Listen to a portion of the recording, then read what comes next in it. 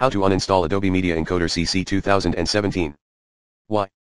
Possible reasons, corrupted client, unwanted installation, more, b. How? Solution number 1, perform the uninstallation process manually.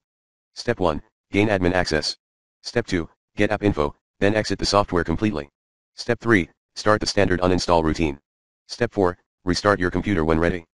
Step 5, optionally clean related project, components, or software remains, e.g., Adobe Creative Cloud. Follow me, exactly. See solution number 2, try the recommended uninstall tool pro in the description area, if this removal guide fails to work.